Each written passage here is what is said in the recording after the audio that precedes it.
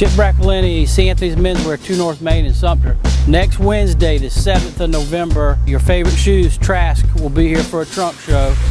And we'll be doing a bourbon tasting from 5 to 9.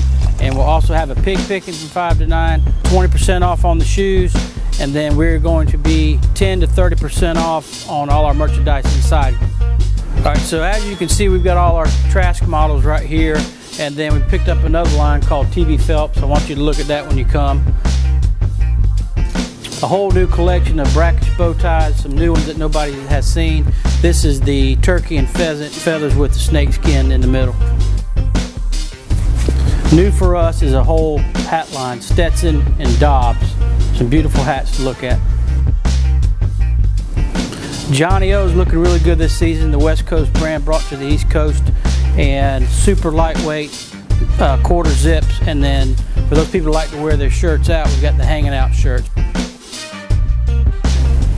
And then everything Peter Millar does, we carry just about the whole line. So all this stuff, the great new featherweight five pocket pant in five colors. You're gonna love it. Great night to do some Christmas shopping. It's supposed to be a really nice night outside, so hope to see you then.